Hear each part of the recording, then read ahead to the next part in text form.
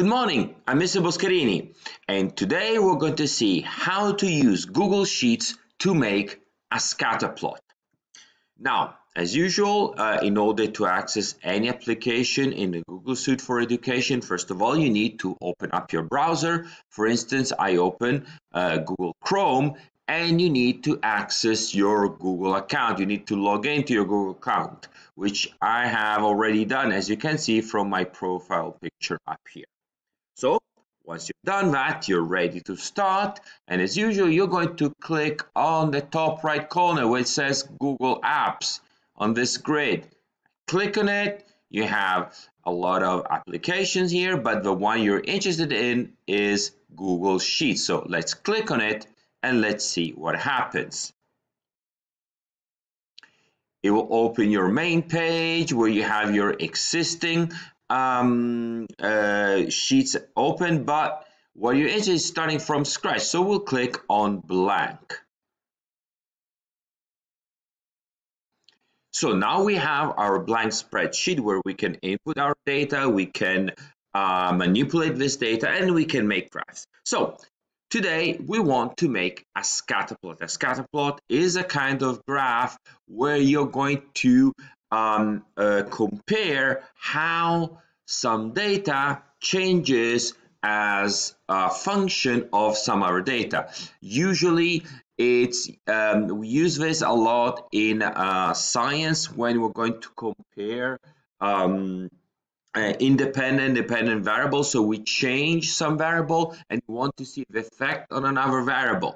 So in today's example, let's assume we were looking at what we call Hooke's law, which is the um, relationship between the force applied on the spring and the stretching of that spring. So we'll start in any cell. Remember, you can click on any cell.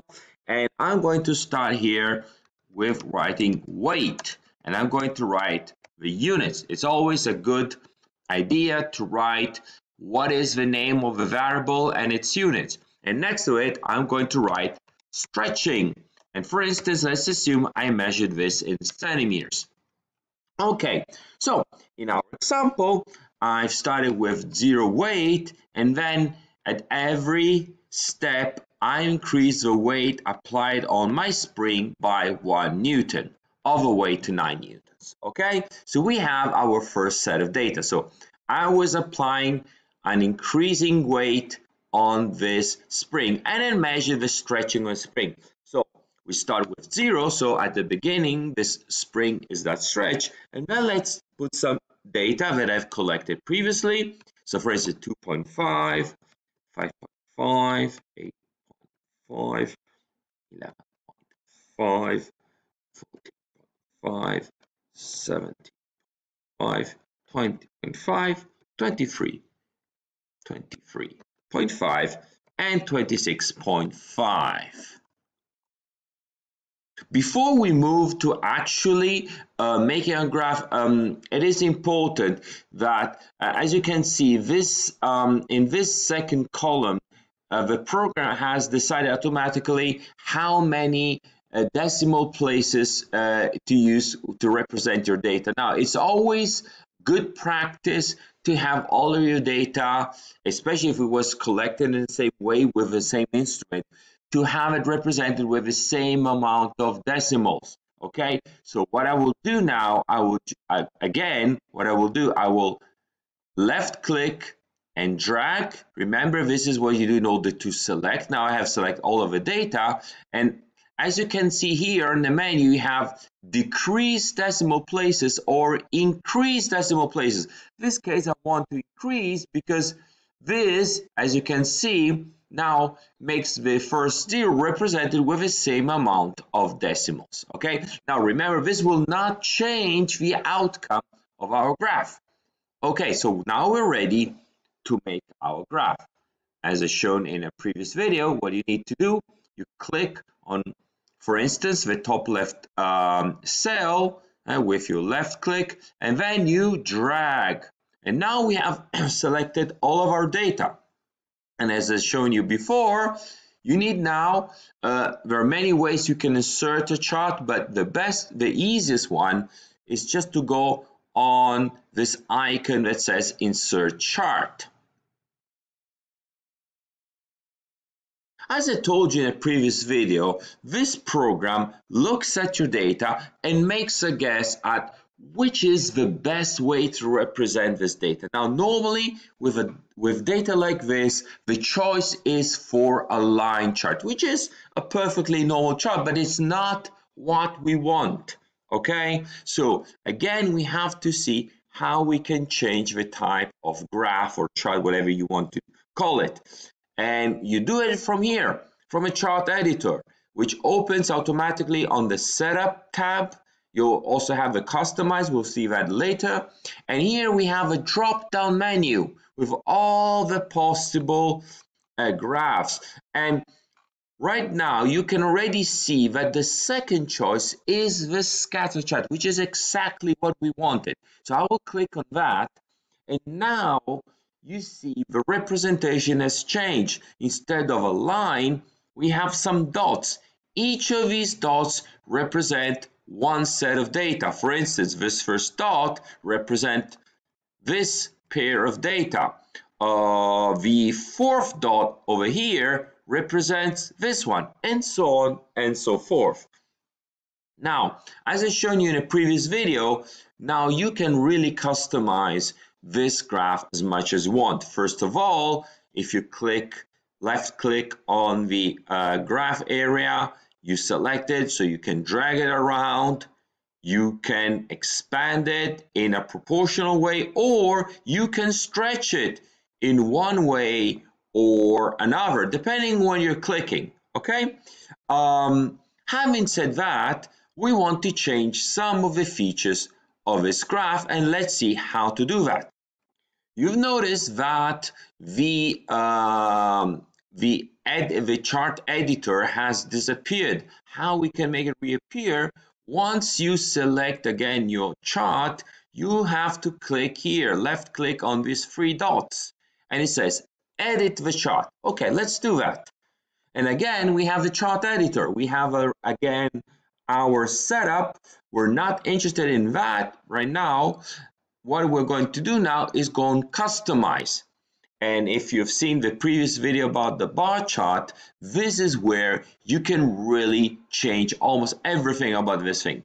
For instance, you can change um, the kind of color for the background, for instance, but of course this will not make it very readable. So let's go back to um, actually no color at all. This will make it transparent, by the way, or you can make it white, okay? Um, but let's look at the chart and axis title. Now, uh, by default, since I've selected these two cells which says weight and stretching, uh, the program has automatically used those as labels for the axis. I'm pretty happy about that. But let's imagine we want to change this into another one. Instead of calling it weight, we connect, want to call it load. And the magic here is that if everything goes right, this should change. No, it didn't. So what we have to do now, we need to edit the chart, go to customize, and now we're going to change the axis title for the horizontal axis. So we go here, we select horizontal axis title, and you see it still says weight. I'm not happy with that. I'm going to call it load. And now you see it has automatically changed. By the way, you could have also have changed it by clicking here. You see it's highlighted and if I double click, again, I can change it and this time I will rewrite. Wait. The nice thing is that in the meantime, this has also changed. So these two things talk to each other. Okay, let's try to change something else. For instance, I'm not happy about the title. Again, I'm going here. You see I'm still on the Customize tab and I go on Chart Title and this time I'm going to call it Hooke's Law, uh, which, Hooke's Law, which is the physics law that talks about stretching of springs and the weight applied on them. Again, I can change it, can make it bold, I can make it italics, I can change the um, alignment, etc. I can change the color, okay? Many, many things you can change. But now I want really to look at something uh, more interesting. When you're doing um, when you're um, representing some data on a scatter plot like this one, and many, many times you see your data follows um, a pattern, a trend. And if you look at here, these dots are almost perfectly on a straight line. And many times you might be asked to add what we call a line of best fit. Now, Google Sheets call this a trend line. In order to add a trend line, you need to go, you're still on the Customize tab, but this time you go on Series. So let's click on that. And here, by the way, you can change the kind of uh, marks you have here. For instance, instead of having them blue, I want to have them purple. I can change the shape for instance, I really love the, the star. I can change the size, but what is important here is that I can add a trend line. So if I check this one, you will see what we normally call a line of best fit. You can see it has automatically used the same colors day, but again, you can change that. You see, you can change it here. You can also try to use a different kind of trend line. In this case, linear is what really best suits our needs. And again, I really encourage you once you have a set of data that is in this form to make your own graph and start playing around. And in following videos, we're going to see how to make other type of graphs. But for today, that's all from Mr. Boscherini. Goodbye.